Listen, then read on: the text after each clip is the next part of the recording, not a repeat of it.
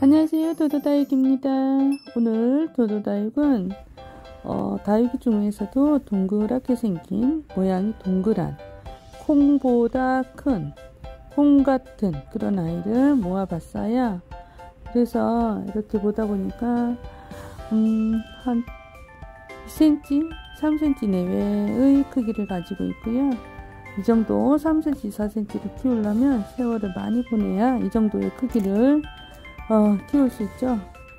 지금 보이는 이 아이들이 어, 보면 이제 한 3cm, 2cm 정도 됩니다. 부르게리 색깔 예쁘죠? 지금 탈피를 살짝 하고 있는데 탈피 안 할 때는 아주 아주 예쁜 자홍색입니다. 이런 아이 부르게리 예뻐요.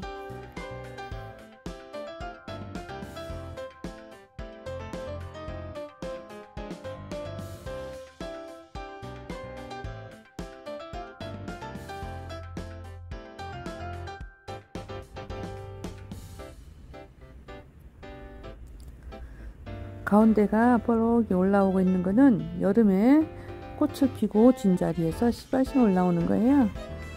씨앗이 이렇게 쭉 올라오는데 부비부비 해주는 자리에서 이렇게 올라오고요. 어, 꽃이 피고 진 자리입니다. 색상이 굉장히 투명하죠. 오래됐어요. 와, 크리플 칼클리스. 칼플리스죠. 자, 이 아이들은 얼굴이 예뻐요.